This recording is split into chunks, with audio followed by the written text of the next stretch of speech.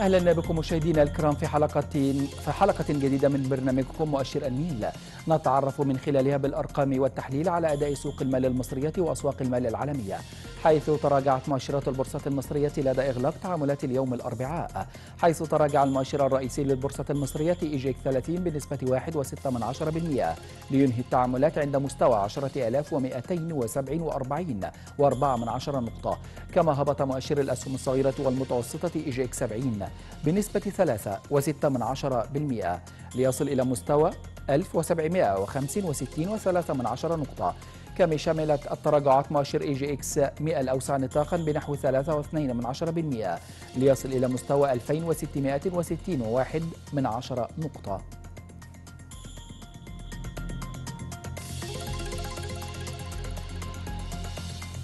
وعلى صعيد القطاعات الأكثر تداولا في البورصة المصرية خلال تعاملات اليوم فقد جاء قطاع الموارد الأساسية على رأس القطاعات الأكثر نشاطا بنسبة 16.9% وحل قطاع العقارات ثانيا من حيث التداولات بنسبة 16.4% واستقر قطاع اتصالات وإعلام وتكنولوجيا المعلومات في المركز الثالث من حيث التداولات بنسبة 13.4%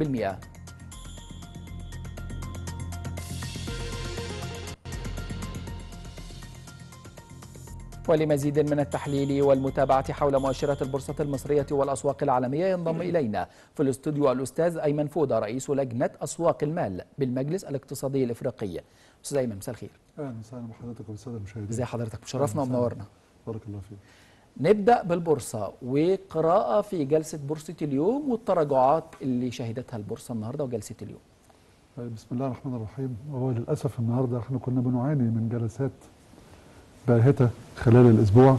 النهارده يمكن الجلسة مش باهتة النهارده الجلسة قاتمة حيث أن كلا المؤشرات وصلت لمستويات سعرية أو مستويات آه، هي الأقل في هذا العام من بداية العام. مؤشر الثلاثيني كان بيصارع آه، منطقة ال 10350 10400 نقطة وكان كان كل يوم في في جلسة المزاد. كان بيحصل بعض الفيش اللي بتتحط على التجار الدولي بترفع المؤشر قبل الإغلاق 50 نقطة 100 نقطة اللي بان ان هو يقفل فوق المنطقة دي. للأسف النهارده المنطقة دي اتكسرت كسرت منطقة ال 10300 وربنا يستر إن يعني إيه اسبابها أصل استمرار الهشاشة والضعف بتاع السوق بيخلق ضعف أكتر. بمعنى إن آه، قلة الثقة أو تراجع الثقة للمستثمر في السوق بتخليه اولا ما بيشتريش ثانيا المرحلة الثانية بيبتدي يبيع. المرحلة الثالثه إن الأسعار لما بتقل بدرجة كبيرة بيبتدي مارجن يعني بيتباع له غصب عنه. يمكن هو ده اللي حصل النهارده. إن المستويات السعرية قلت جدا فابتدت في النص الثاني من الجلسة ما يقدروش يسندوا التجار الدولي.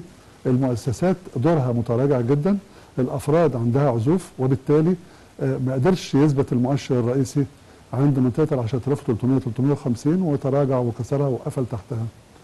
بنتمنى انه ممكن بكرة يكون في ارتداد طب ويقفل الأسباب اللي. حضرتك اتكلمت فيها دي هل أسباب عرضية يعني ممكن جلسة جلستين ولا ممكن تستمر معنا الفترة؟ لا هو هو على المدى هيكون لفترة.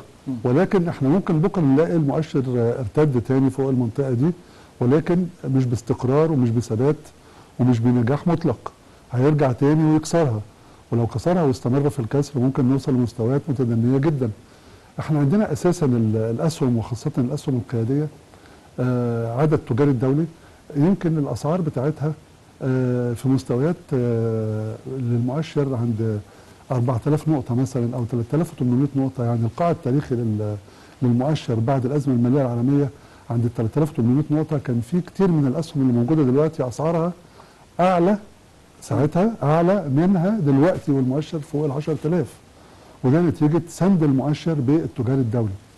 فهو ده وبالتالي لسه لا زالت الهشاشه. وأسباب الهشاشه لم تنتهي المؤشر ال 30 وال 70 يا فندم تقييمك ليه؟ ده المؤشر الثلاثيني بالنسبة للمؤشر السبعيني طبعا بياخد الثقة الأفراد تاخد الثقة من المؤشر الثلاثيني مم. فالنهاردة أول لما لقوا الكسر بقى يعني إيه استقر تحت وكمل الجلسة وهو كسر ابتدت تبقى فيه مبيعات كبيرة جدا ودلوقتي المؤشر السبعيني بقى ليه طبيعة آه، مختلفة عن الأول المؤشر السبعيني دلوقتي بقى فيه في صناديق استثمار وبالذات صناديق استثمار محلية وعربية.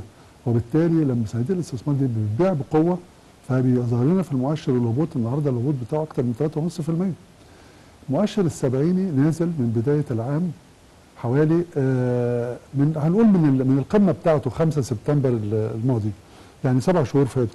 نزل 42% من بداية العام 19.5% مم. المؤشر الرئيسي نازل 14.5% من بداية العام.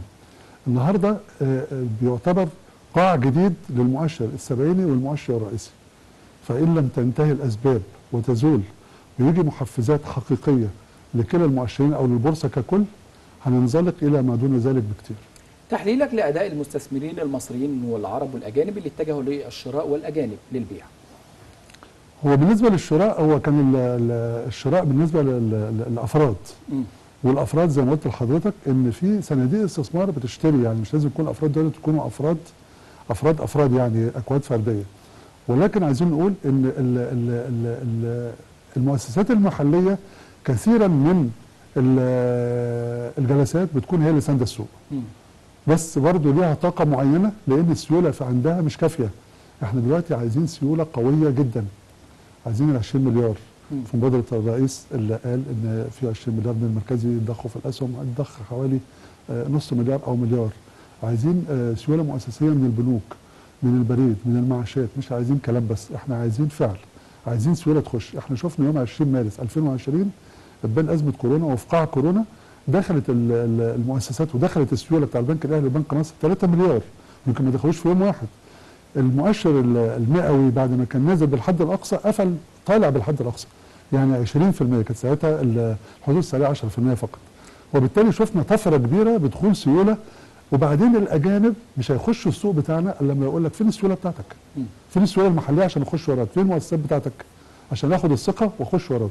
دكتور محمد فريد رئيس البورصة المصرية كان له تصريح خلال الأسبوع ده قال إن زيادة مكون الاستثمار المؤسسي في السوق ده هيوفر سيولة إضافية ويساعد على تحفيز الاستثمارات الأجنبية. تمام؟ تمام ده يعني إحنا عندنا حاجتين مكملين لبعض. أنا فيهم الأول هنقول السيولة الأول. السيولة وبعدين الطروحات. تمام؟ السيولة يعني عشان نعمل طروحات النهارده لازم تكون السيولة على الأقل 2 مليار. إحنا النهارده السيولة كام؟ يعني النهارده القيمة التداول كام؟ 620 مليون ويوم الأحد كانت 350 360 مليون. يعني أقل من 32 مليون دولار. طبعا في أسواق ناشئة قريبة مننا جدا بتعمل آه، 18 أو 20 ضعف القيم التداول ده. ده ليه؟ لأن ما عندناش منتجات. لازم يكون في منتجات قوية قوية تطرح بس بعد السيولة ما توصل 2 مليار السيولة مش هتوصل 2 مليار إلا بدخول مؤسسي قوي منظم على المدى المتوسط والطويل وليس للمضاربات التضخم اللي بنعاني منه وبيعاني منه كل دول العالم في بعض الدول والدول الكبرى خدت قرار برفع أسعار الفائدة ومصر كمان خدت قرار برفع أسعار الفائدة. إلى مدى يؤثر قرار رفع أسعار الفائدة في التضخم وتخفيض نسبة التضخم؟ طيب هو اولا آه، رفع أسعار الفائدة في أمريكا نتائجه تختلف عن نتائج رفع أسعار الفائدة في مصر مم. لأن طبيعة الاقتصاد أو المكون الاقتصادي وطبيعة مختلف. التضخم نفسه مختلف هناك في تضخم ليه؟ لأن في سبيل المحفزات أيام كورونا كان في طبع. للدولار تمام آه طبع الدولار دوت هم عايزين يلموا الدولارات اللي في السوق دي أوكي؟ لأن في سيولة عالية جدا. والمنتج زي ما هو يعني ما زادش. وبالتالي لازم يلموا السيولة. فالنص في المية ده يأثر في الاقتصاد الأمريكي ويقلل التضخم. تمام؟ نيجي عندنا إحنا هنا. هل عندنا التضخم سببه الطلب؟ زيادة الطلب اللي هو التضخم الحقيقي؟ التعريف الحقيقي للتضخم؟ ولا لا. زياده سعر المنتج؟ لا. زيادة تكلفة المنتج. أو تكلفة المنتج. زيادة تكلفة المنتج. إحنا عندنا المنتج غلي. كل المنتجات غليت في مصر لثلاث أسباب. يمكن السبب الأول اللي هو تخفيض سعر الصرف. طبعا قيمة الجنيه القيمة الشرائية قلت. آه نمرة اثنين إن آه آه رفع الفايدة بيسحب السيولة لأوعية داخلية أخرى. صحيح. تمام؟ جشع التجار بيزود 20% من أو بيزود بي- بي- بي- بيبقى مسؤول عن 20% من زيادة الأسعار اللي موجودة في السوق ليه؟ لأن كل الترندات اللي موجودة على ال social media الحاجة غليت ال- البنزين غلي ال- القمح غلي السكر غلي فاللي هو مش مش شغال في ده كله بيغلي هو الآخر يقول لك اشمعنى أنا؟ هو بيغلي ب- بأكتر من المتوقع أو بأكتر من المطلوب تمام؟ إحنا عندنا زيادة سعر أو زيادة تكلفة المنتج هو السبب وبالتالي إحنا لو بنرفع الفايدة للأسف الشديد. طبعا البنك المركزي له رؤية وتحترم تمام؟ إحنا بنقول الرؤية المتواضعة بتاعتنا من وجهة نظرنا. آه لما نرفع سعر الفايدة هنا الناس بتسيل أصول. اللي عنده شقة بيبيعها. بيبيعها ملهاش لازمة. هيأجرها ب 1000 جنيه ب 2000 جنيه ب 3000 جنيه. لأ أنا أبيعها وأحطها في البنك. المليون يجيب لي 15000 جنيه مرتب في الشهر تمام؟ اللي عنده أرض بيبيعها اللي عنده أي أصول بيبيعها. ده برضه ناهينا عن إن ده بيمنع الدولره أوكي؟ يمكن ده سبب من الأسباب الرئيسية في رفع الفايدة عشان سحب السيولة. وبالتالي إحنا عندنا زيادة سعر المنتج هو اللي السبب في عملية التضخم أو نقول الركود التضخمي. أستاذ أيمن بخلاف رفع أسعار الفائده إزاي نقدر نواجه التضخم من وجهة نظرك؟ أول حاجة الإنتاج. مم. لازم. ده بنواجه بيه أي حاجة واولها التضخم. يكون في إنتاج هيبقى في سلع وفيرة. أول حاجة إن إحنا هنكفي السوق هيبقى في اكتفاء ذاتي فهنقلل التصدير هنقلل الاستيراد وممكن نتجه مع الجودة وزيادة الجودة للتصدير. يبقى إحنا وفرنا الدولار اللي إحنا بنستورد بيه وابتدينا كمان نجيب دولار من بره. تمام؟ وبالتالي آه، هنا هنلاقي السيولة الدولارية موجودة. يبقى مفيش مفيش داعي ان إحنا نرفع الفايدة تاني عشان نقلل أو نخفض من الدولره فهو ده ال- ال- الشق الأساسي في الموضوع. وثيقة سياسة ملكية الدولة إزاي تقدر تأثر على الوضع الاقتصادي في مصر والبورصة المصريه على فكرة هي الوثيقة دي مهمة جدا مم. يعني لو دخلت في حيز التنفيذ. والنهاردة كان في مؤتمر آه، كان أقامته أو كانت الراعي الرسمي بتاعه آه، آه، وزارة التخطيط مم. والتنمية ال- الاقتصاديه وكنا حاضرينه حضر فيه رئيس الصندوق السيادي ومعاه شخصيات من المستثمرين وشخصيات من رجال التعليم كان بيعرض المنصات التعليمية وكيفية الاستثمار وأوجه الاستثمار في قطاع مهم زي قطاع التعليم. ده شيء كويس جدا. تمام؟ دي بداية حقيقية إن إحنا بنعرض منتجاتنا للمستثمرين. تعالوا استثمروا بالطريقة الفنية في التعليم. اعملوا جامعات أهلية اعملوا جامعات خاصة اعملوا مدارس خاصة وهنسهل إقامة هذه المشروعات.